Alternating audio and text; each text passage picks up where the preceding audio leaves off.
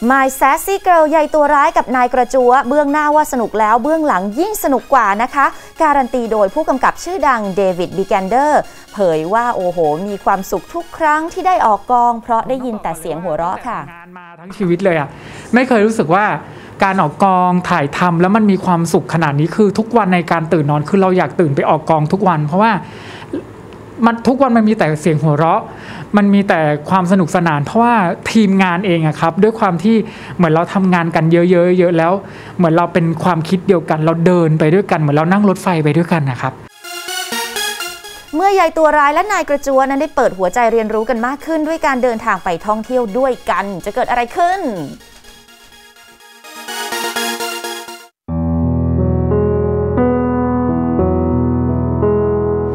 ใหญ่อ้วก ไอ้กล้วย แล้วนี่อะไรเนี่ยคุณ ทำแคปซูลไง เราจะเอาจดหมายฝังลงไปในนี้ และอีกสองปีค่อยมาเปิดอ่านพร้อมกัน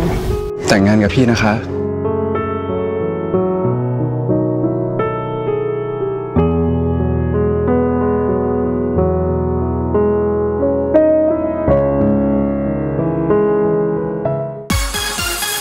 My Sassy Girl ใหญ่ตัวร้ายกับนายกระจัวจะออกอากาศทุกวันจันทร์และวันอังคารเวลา 2 ทุ่มนะคะ ทางช่อง True Asian More หมายเลข 120 และ